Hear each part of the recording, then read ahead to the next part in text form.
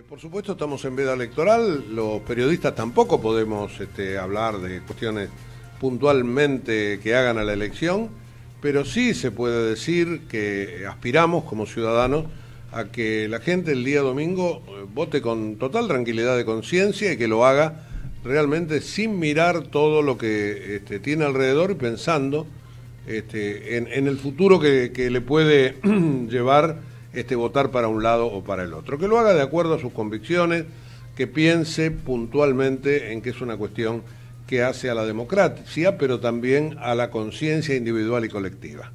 Así que una elección es siempre bienvenida y, bueno, suerte que desde hace eh, muchísimos años, del 83 para acá al menos, se ha podido regenerar esta sana costumbre de elegir a nuestros representantes. A veces lo hacemos mejor, a veces lo hacemos peor, pero lo ideal es que cada dos años tenemos la oportunidad de darle al Poder Legislativo un nuevo formato y cada cuatro llevar a una persona al cargo de presidente de la Nación.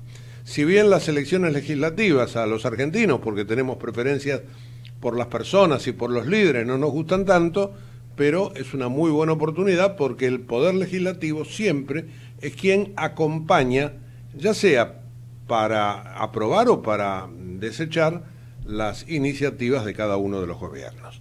Así que no hay que tomar la elección como una anécdota, simplemente hay que pensar que en ella se juega, como en todas las elecciones, el destino democrático de un país.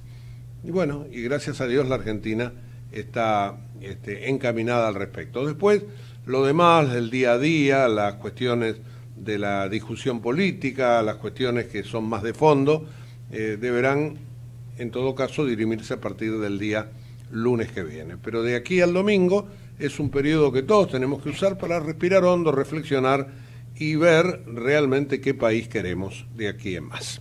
Así que bueno, dicho todo esto, que es bastante formal, pero no por ello menos cierto, podemos poner en marcha ya periodismo a diario diciendo que eh, evidentemente todo lo que uno habla en un programa de, esta, de este tipo tiene un trasfondo político. Eh, lo venía teniendo y lo seguirá teniendo, y de aquí al, mismo domingo. Es decir, los códigos electorales son muy claros para los candidatos. Los periodistas mismos no deberíamos, en todo caso, este, puntualizar cuestiones electorales, pero todo lo que está alrededor evidentemente hace al, sentido de la vida ciudadana.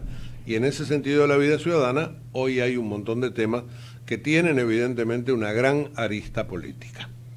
Así que el programa va a tener en ese aspecto que caminar en, un, sentido de, dar la información, pero tratando de no incidir en eh, la conciencia de cada uno.